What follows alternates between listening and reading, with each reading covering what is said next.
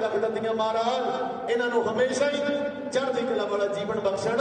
ਇਸੇ ਤਰ੍ਹਾਂ ਸਿੱਖੀ ਦਾ ਪ੍ਰਚਾਰ ਤੇ ਪ੍ਰਸਾਰ ਆਪਣੀਆਂ ਮਿੱਠੀਆਂ ਸੁਰੀਲੀਆਂ ਆਵਾਜ਼ਾਂ ਦੇ ਨਾਲ, ਪ੍ਰਚਾਰ ਦੇ ਨਾਲ ਵਰਲਡ ਦੇ ਕੋਨੇ-ਕੋਨੇ 'ਚ ਕਰਦੇ ਰਹਿਣ।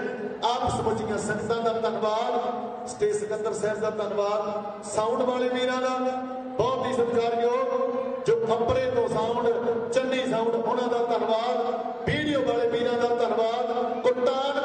ਸ਼ੁਕਰ, ਧੰਨਵਾਦ। ਸਾਹਿਬ ਸ੍ਰੀ ਗੁਰੂ ਗ੍ਰੰਥ ਸਾਹਿਬ ਮਹਾਰਾਜ ਜੀ ਦਾ।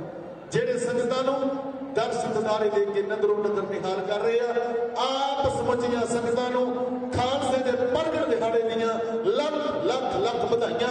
ਆਪ ਆਪ ਸਮਝੀਆਂ ਸੰਗਤਾਂ ਦੀ ਚੜ੍ਹਦੀ ਕਲਾ ਦੇ ਲਈ ਤੇ ਮੋਰਚਿਆਂ ਦੇ ਉੱਤੇ ਬੈਠੇ ਸਾਡੇ ਕਿਸਾਨ ਭਰਾਵਾਂ ਦੀ ਚੜ੍ਹਦੀ ਕਲਾ ਦੇ ਲਈ ਇੱਕ ਜਕਾਰਾ ਕਲਗੀਧਰ ਦੇ ਚਰਨਾਂ 'ਚ ਵਜਾਉਣਾ ਤੇ ਤੁਸੀਂ ਸਾਰਿਆਂ ਨੇ ਨਾਲ